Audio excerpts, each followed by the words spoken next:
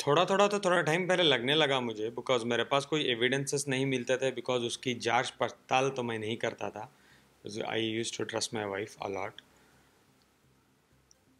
हाँ मुझे जब सर्टिफिकेशंस मिलने लगे दैट वाज जब वो लास्ट दिवाली के लिए लंदन जाकर आई तो बहुत सारे मेरे पास एविडेंट वॉइस नोट्स ये चीज़ें मुझे मिली, जिससे मुझे पता चला कि राखी रितेश के साथ कांटेक्ट में ही नहीं, उनके संबंध हैं। वो गलत कर रही है उनके साथ और बहुत उनका रिलेशनशिप डीप है।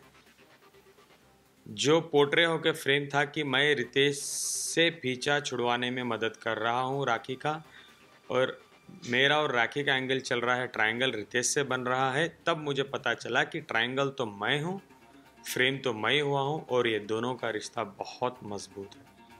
जब मैं ये बोलना चाहूँगा कि सारी दुनिया जब ठग सकती है राखी के, ये साफ़ झूठ से कि वे शादीशुदा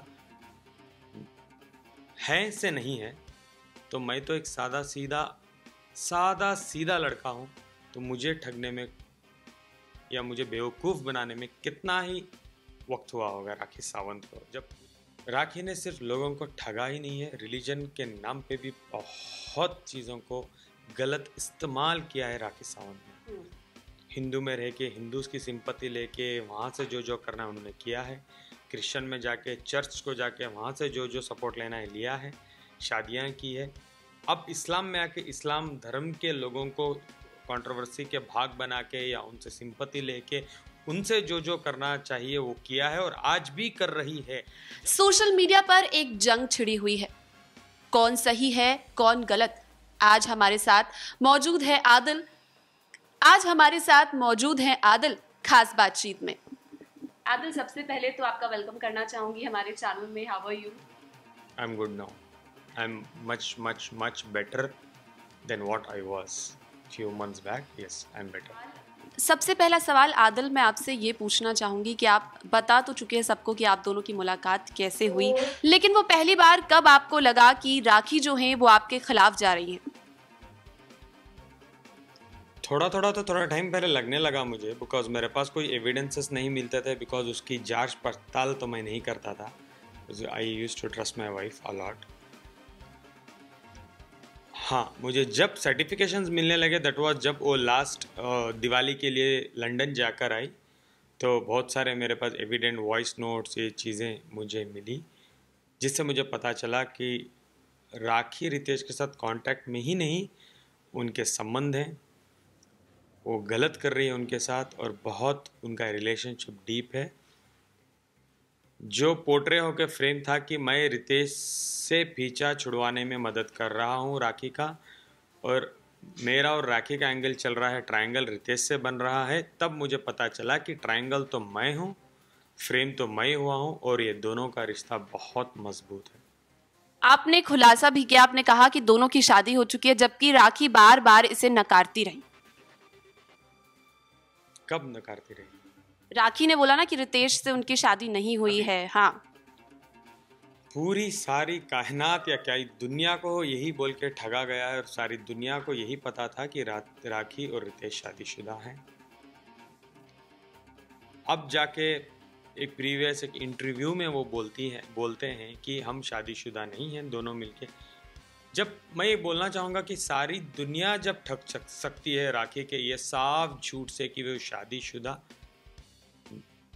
है से नहीं है तो मैं तो एक सादा सीधा सादा सीधा लड़का हूँ तो मुझे ठगने में या मुझे बेवकूफ़ बनाने में कितना ही वक्त हुआ होगा राखी सावंत को। जब पूरी दुनिया को बताया गया था कि शादीशुदा हूँ विथ अनाउंसमेंट्स और साफ़ तरीके से उन्होंने ये भी बता दिया था आ, कि आप रितेश मेरा कोई नहीं है हम्म। हमारी शादी ही नहीं हुई है आज भी वो क्लेम कर रही है एविडेंसेस दिखाने के बाद भी वो साफ़ साफ़ कह रही है कि मैं शादीशुदा नहीं तो जैसा कि हमने देखा कि राखी जो है उन्होंने कई सारे आरोप आपके ऊपर लगाए हैं। हाल ही में राखी उम्र के लिए गई हैं। तो उनके रिलीजन को लेकर भी लोग कई सारे सवाल खड़े कर रहे हैं कि वो क्रिश्चियन को बिलोंग करती है या फिर इस्लाम धर्म उन्होंने अभी कबूला है। इससे पहले वो हिंदू में बिलोंग करती थी। तो आ, सोशल मीडिया पर कई सारे सवाल खड़े किए जा रहे हैं इस पर। तो आप क्या कहना चाहेंगे?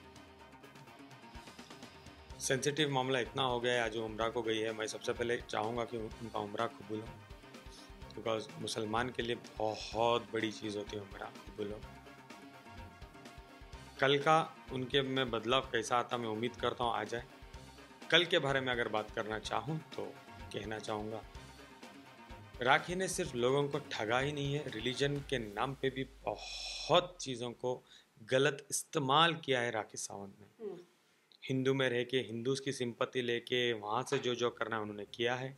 क्रिश्चियन में जाके चर्च को जाके वहाँ से जो जो सपोर्ट लेना है लिया है शादियाँ की है।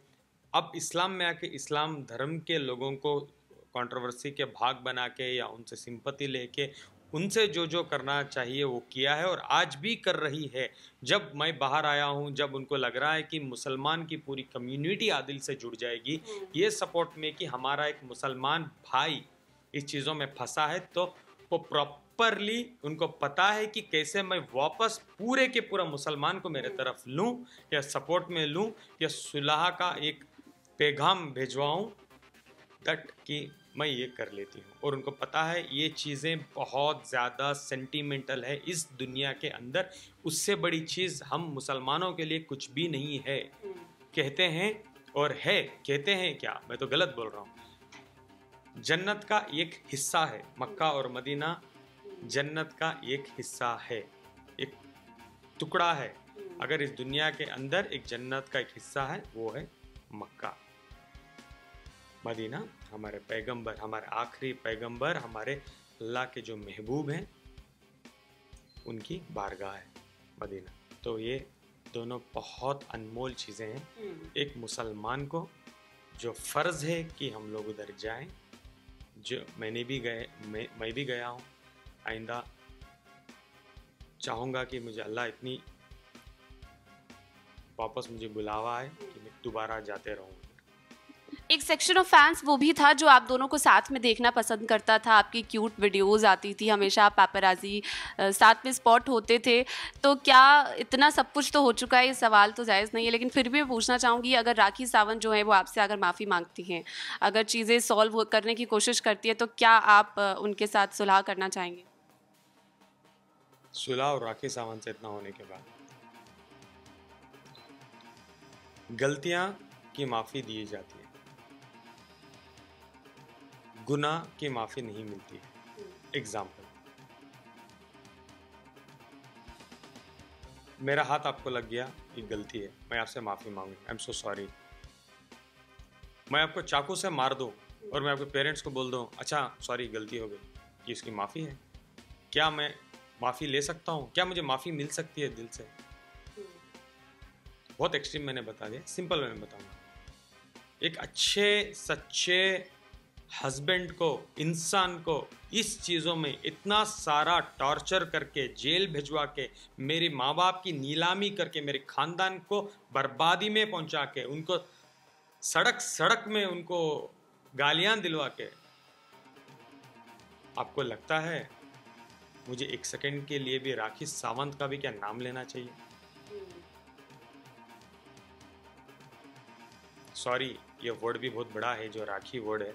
अभी हाल ही में हाँ मैं मैं बहुत हिंदू दोस्त हैं और रिलीजन को मानता हूँ। अभी तो है दो चार दिन में रक्षाबंधन भी आ रहा है। तो राखी एक बहुत बड़ी चीज़ है बोलने, लेकिन माफ़ करना, मैं ये कहना चाहूँगा, उस वर्ड से भी मुझे